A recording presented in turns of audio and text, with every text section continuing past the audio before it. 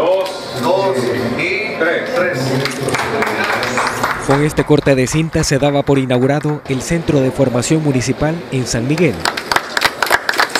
Seguidamente develaban la placa conmemorativa.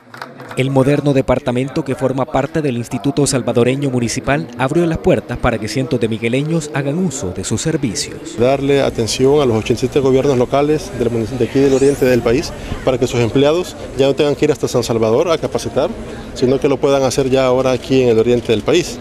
Y como dije, no solamente es el único de los beneficios que estamos poniendo al servicio de los alcaldes, sino que también tenemos la línea de financiamiento a tasas de interés más competitivas que la que contraen actualmente con el sistema financiero nacional o con el sistema Fede Crédito. Hemos puesto a disposición 18 millones de dólares para que lo puedan invertir.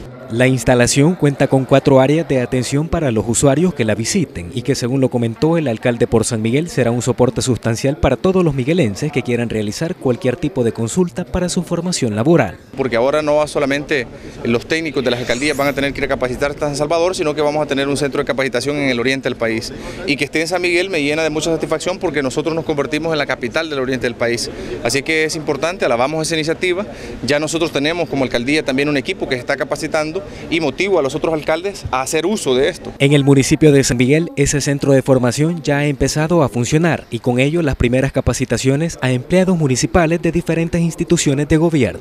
Este es un informe especial de TRB en San Miguel. Eduardo Márquez, Telenoticias 21.